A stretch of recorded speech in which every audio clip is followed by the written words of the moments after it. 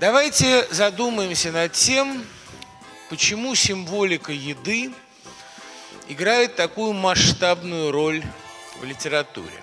Еда имеет высокое символическое значение и наиболее успешно подвергается этой символизации именно потому, что мы видим ее в жизни чаще всего, чаще всего с ней общаемся.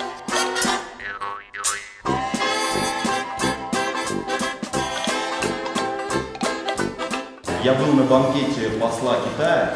Все работники культуры Китая и э, ну, министры, они все чахнут.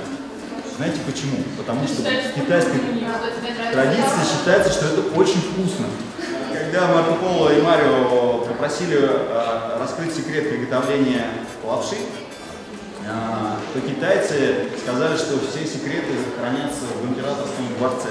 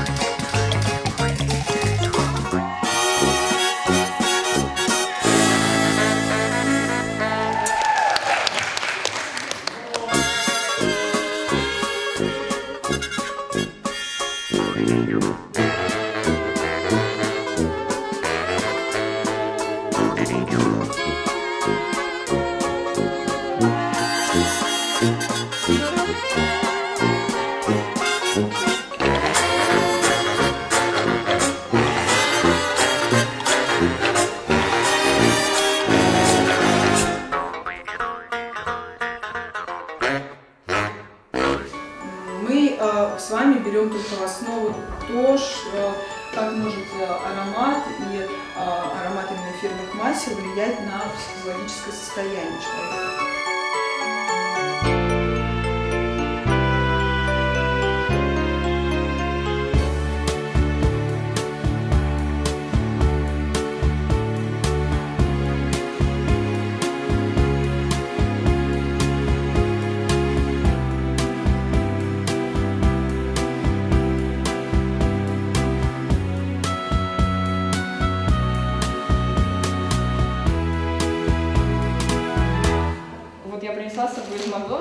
Туда специально сходила, потому что реально у меня какая-то немного есть даже зависимость от еды. Я люблю вот Кока-Кола, вот это все, что самое вредное, сладкое, шоколадки. Я тоже не знаю меры в еде вообще.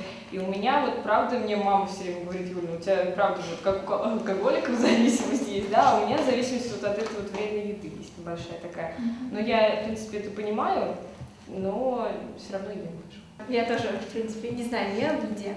Вот, ну и безумно люблю шоколад. Часто у меня семья такая, мы часто собираемся, пьем чай. Я постоянно ем шоколад, по-другому не могу, привыкла, вот. Ну, я на самом деле все ем, все люблю, вот, и при этом очень хочется и похудеть, и чтобы лицо было чистенькое, это же все-таки очень все вредит, вот, вот так. А, Вы знаете, э, ведь еда связана с удовольствием напрямую. Такое удовольствие, которое ребенок испытывает, когда а, встречается в этом мире с тем, что вообще в нем не так прекрасно, как у мамы в животе. Сейчас я предлагаю вам сделать некоторый эксперимент. Ну вот у вас есть тут еда, которую вы принесли, но и есть еда, которую вы называли. да? Давайте сделаем следующую вещь. Я попрошу вас представить про себя образ той еды, которая вам очень вкусная. Если она вот здесь с вами, вы можете ее представить. И а, вы можете закрыть глаза и побыть одну минуту один наедине с этим образом. И а, заметить те эмоции, ощущения в теле или какие-то дополнительные воспоминания, которые у вас будут возникать в этот момент. Я почему-то представляла себя там одну, ну, то есть не в семейной обстановке, ничего, да, как-то вот так вот у меня с фантазией, видимо. Но просто вот еда на столе стоит, но ощущение такое хорошее, как будто вот как пятерку за контрольную по математике. Получила, вот прям тут видишь свою любимую еду, вот такое. Удовлетворение? Да, ну, вот как-то вот тут аж прям тепло. Прям видишь свою вот эту вот любимую еду? Прям вообще. А мне почему-то вроде как вкусно, приятно, но при этом и неприятно, потому что я опять ем шоколад. А первая какая эмоция была? Конечно, вкусно.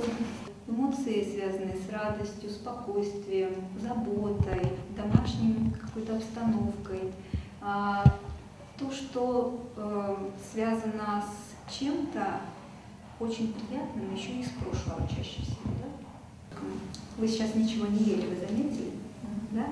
Но эмоции удалось испытать все. Это про то, что на самом деле мы можем испытывать эмоции не через еду, да? через разные другие способы. Представьте себе, пожалуйста, тот продукт, который вы хотите регулировать, который вы хотите есть а, как- как-то иначе, не так, как вы его едите сейчас.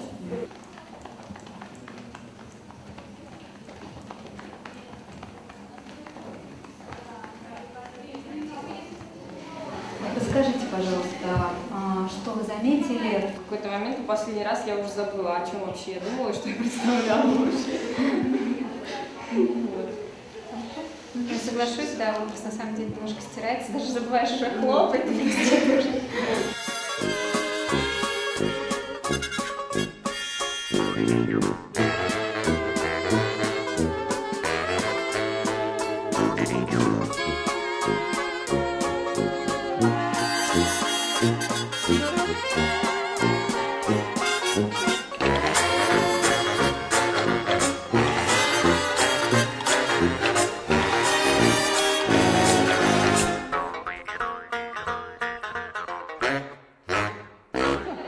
Обалденно!